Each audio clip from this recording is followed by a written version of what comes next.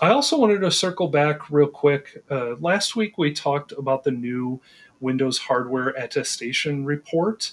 So another comment here on the hardware attestation report uh, showing up empty. That's the report that I showed a little bit ago. Um, and how do we enable that? So I happen to look in another tenant that I have that does have some uh, uh, physical devices, and it's also showing up empty for me. Um, so unless you have any clever ideas there off the top of your head, Johan, I may have to look into this one a little bit for next week. No, not nothing I have seen. Um, and I did want to show that I actually got something going. Uh, got some data into that report, uh, and it was pretty easy. So what I had to do first was if I go over to my Intune Admin Center, I'm going to go to my Windows devices and I'm going to look at my compliance policies. You can see here I created a hardware attestation report, uh, compliance policy rather. And in this policy, um, there are a few things that I set. Let's Just edit the settings here. If we go to device health, with these three settings, um, BitLocker, Secure Boot, and Code Integrity set to required, uh, I started to see data show up. Now, I haven't tested this as setting them all as not configured so that it doesn't actually flag a device as non compliant.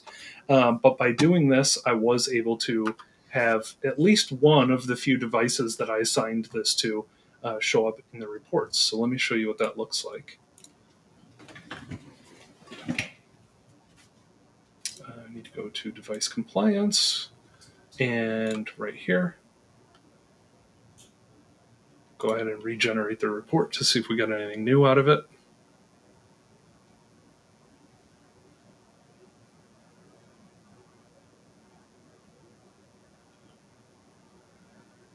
And there we go. Uh, you can see last week when we took a look at this, this was empty, or at least I mentioned mine was empty. Um, and we were kind of seeing the same thing for uh, others in the community. Um, but basically, what you have is that first device that showed up, uh, we'll get the Intune device ID, the primary user U, uh, UPN, the operating system it's on, and then some other uh, information about the hardware on the device. So you can see this particular device did not have, does not have BitLocker um, encryption on it at the moment, but some of the other um, security features are actually enabled, uh, which is a good sign. But because my compliance policy uh, said I needed BitLocker required, that particular device is showing as not compliant.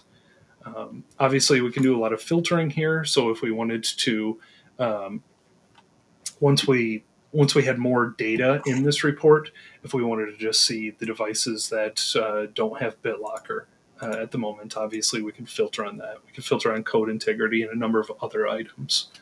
Um, so I just wanted to circle back on that one a little bit. That was what finally triggered data coming in here for me was assigning that compliance policy.